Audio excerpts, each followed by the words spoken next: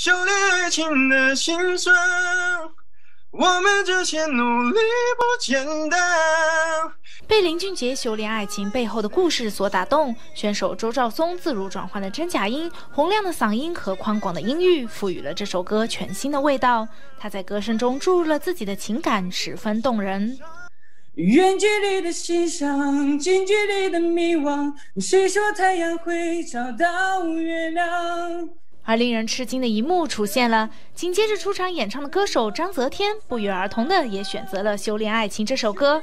在前一位歌手演唱同样的歌曲后，他沉着面对，以细腻温柔、嗓音动人心弦的风格演绎了这首歌。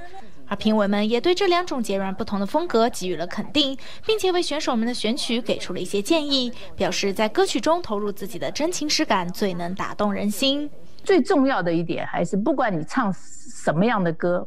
感情一定要进去，一定要把自己的感情放到这个歌里，要了解歌词的意思，要真正的把它把自己的感情放在那个感觉里面，那你唱出来的东西就不会给人家有 copy 的感觉。我们有时候比赛的时候不一定是要忠于原味才会让你胜出，因为你再忠于原味也没有办法说唱的跟原唱一模一样，反而是用你自己的音色跟音乐来诠释别人的歌。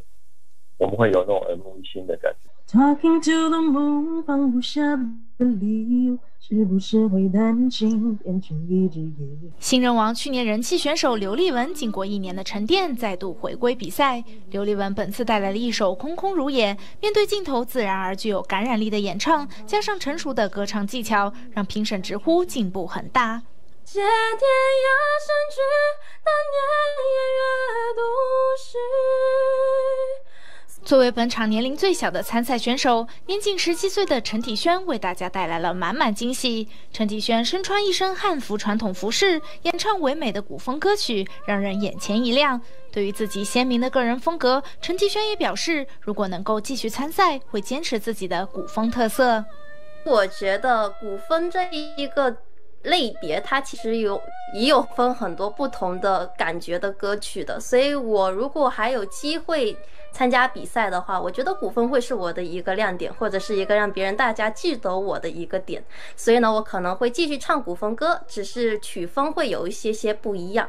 错过首场线上海选的观众们，赶紧把握机会，上网报名十月十号的海选活动。报名方式相当简单，只要上东森美洲电视官网，点选主页图示，进入新人网官网，就可以找到报名选项，并且轻松填写好几个个人基本资料，就可以完成报名，为热血青春与防疫生活留下一段美好回忆。查询更多活动详情，请上东森美洲电视官网。东森新闻团队在洛杉矶的综合报道。